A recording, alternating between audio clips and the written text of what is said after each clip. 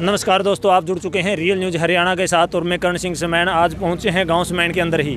यहाँ पर गणेश उत्सव मनाया जा रहा था और आज ग्यारहवें दिन ग्यारहवें दिन आज गणेश विसर्जन किया जा रहा है। आपको एक खास बात बता देते हैं टोहाना खंड का सबसे बड़ा गाँव समैन है और समैन में पहली बार गणेश उत्सव मनाया जा रहा है। आज विसर्जन का दिन था। पंडित जी हमारे साथ हैं उनसे बात करेंगे। सर नमस्कार। नमस्कार जी। सर जो प्रोग्राम आज आपने किया है और आज गणेश विसर्जन किया जा रहा है इस पर आप क्या कहेंगे? जी सबसे पहले तो मैं आप लोगों का धन्यवाद करूँगा रियल न्यूज़ चैनल जो अपना है इसकी तरफ़ से। जो ये प्रोग्राम धार्मिक जो कृत्य है ये दिखाया जाने लग रहे हैं। क्योंकि इससे क्या है कि जो लोग आपके चैनल से जुड़े हुए हैं, काफ़ी लोकप्रिय चैनल है आपका। तो उन लोगों के अंदर भी एक श्रद्धा, एक विश्वास जागेगा। और अब मैं बताना चाहता हूँ कि जो गणेश जी भगवान हैं, इनकी गणेश चतुर्थी पुण्यतिथि जो तिथि होती है, चतुर्थी, उस दिन से पूर्णिमा तक गणेश जियों के 11 दिन का उत्सव होता है। तो हमने पहले दिन, यानी 10 तारीख को गणेश जियों की स्थापना करी और आज ग्यारहवें दिन इनका विसर्जन का दिन है। आज भगवान गणपति जी अपने सभी भक्तों को आशीर्वाद देते हुए जल में विसर्जन करना है इनका। तो जाते समय ये अपना आशीर्वाद आप सभी भक्तों को दे करके जाएँगे। सर, ये नहीं लगता ये प्रोग्राम साउथ की साइड में किए जाते थे, लेकिन आज आप देख सकते हैं जो हरियाणा का क्षेत्र है। इसके गांव-गांव में किया जाने लगा है। कल भी हमने देखा टोहाना के अंदर गणेश विसर्जन किया गया था। बहुत धूमधाम से प्रोग्राम किया गया था। आज आपने गाँव में इतनी धूमधाम से प्रोग्राम किया है। क्या लगता है, जो इस साइड में गणेश जो उत्सव मनाया जा रहा है, गणेश विसर्जन किया जा रहा है, कब से ये इस साइड में मनाया जाने लगा है? देखिए, जो आप बात कर रहे हैं कि साउथ की तरफ़ है तो ये बात आपकी बिल्कुल सही है।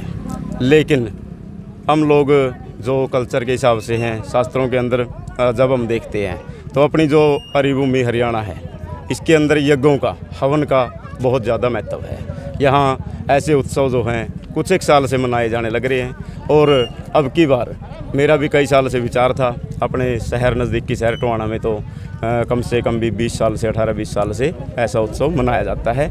लेकिन अब की बार मैंने और अपने प्यारे जो भगत हैं ग्यारह की ग्यारह दिन के ग्यारह के ग्यारह यजमान अलग अलग से थे तो गाँव की तरफ़ से भी हमें पूरा सहयोग मिला जिसके कारण हमने उत्सव को मनाने की पूरी तैयारियाँ कर ली और आज भगवान जी अपने आशीर्वाद दे करके भक्तों को आप हम, हम इनका जल में विसर्जन करेंगे और ये हमें अपना आशीर्वाद आपने बताया लगातार टोहाना क्षेत्र में मनाया विसर्जन देखिए जो हम शास्त्रों की बात है शुरू से ही जो जब तक मूर्तियाँ नहीं बनती थी। ठीक है? मूर्तियाँ, जैसे पत्थर की मूर्ति की हम पूजा करते हैं, पहले सीमेंट की भी थी। लेकिन उससे पहले भी, जब तक ये कलाकारी सीमेंट की और पत्थर की मूर्तियों की नहीं थी, तब शास्त्रों में वर्णित था कि मिट्टी की मूर्ति बनाया करते, दस दिन की, पाँच दिन की पूजा करते और उसके बाद जल में विसर्जन किए कर दिया करते। तो वही विधि आज ये है। अब हमने इसका ग्यारह दिनों के लिए पूजा करी। पूजा के लिए फूल पत्ते जो भी होता है वो जल में हम दे देते हैं। तो जल में जाने से ही उसका पुण्य फल बढ़ता है। सर लोगों के एक अंदर धारणा है कि नौ से दस दिन ग्यारह दिन इसकी पूजा की जाती है और आखिरी दिन इसको जल में प्रवाह कर दिया जाता है। ऐसा क्यों है?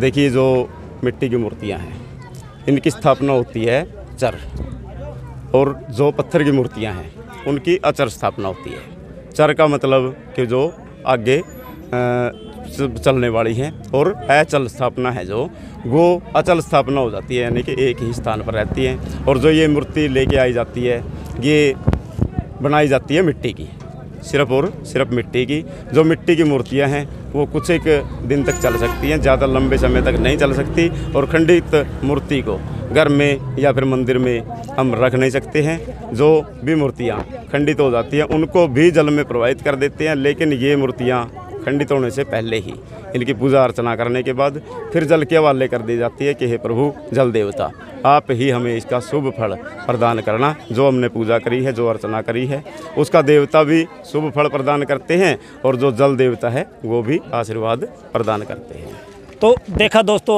आप सबके सवालों का जवाब यहाँ पर मौजूद पंडित जी ने दिए हैं। जो भी आपके दिमाग में सवाल थे वो हमने इनसे पूछे हैं और इन्होंने जवाब दिया है किस तरह से इसकी पूजा की जाती है और किस तरह से विसर्जन किया जाता है। और भी हमारे साथ मौजूद हैं। सर आप बताएँ आज आपके गाँव में पहली बार गणेश जो उत्सव है मनाया जा रहा है कैसा लग रहा है? बहुत बढ़िया जी। गाँव की सुख शांति और समृद्धि के लिए बहुत बड़ी शुरुआत की है और आगे भी करते रहेंगे तो आप बताएँ जी जो ये आपके गाँव में पहली बार गणेश पूजा की जा रही है आपको कैसा लग रहा है? बहुत अच्छा लग रहा है हमारे को तो। बहुत सुख शक्ति मिल रही है पूजन करा हाँ बहुत अच्छा ज्ञान आ रहा है इसमें। क्या लगता है आगे भी आप ऐसे ही करते रहेंगे? हाँ आगे भी ऐसे करांगे। क्या अपील करेंगे और लोगों से? और ऐसे ये कमांगे भी बहुत अच्छी चीज़ है। सब मनाओ सबकी भावना पूरी कराए।